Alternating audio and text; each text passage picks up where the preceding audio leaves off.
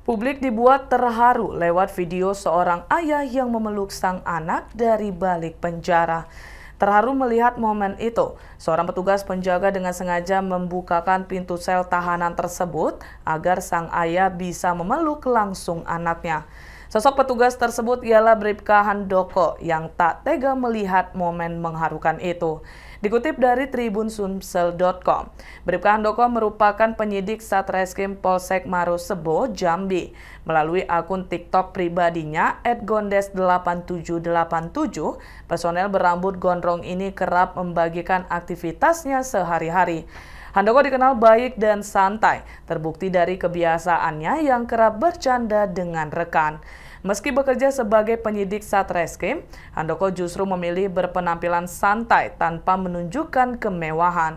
Perlakuan Handoko terhadap tahanan tersebut mendapat pujian. Ikuti terus berita menarik lainnya. Jangan lupa like dan share seluruh akun Tribun Medan.